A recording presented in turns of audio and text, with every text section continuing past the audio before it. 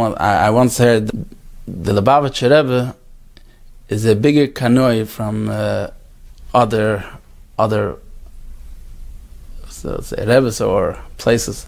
Why? Because other places uh, there's cars driving on Shabbos in Yerushalayim.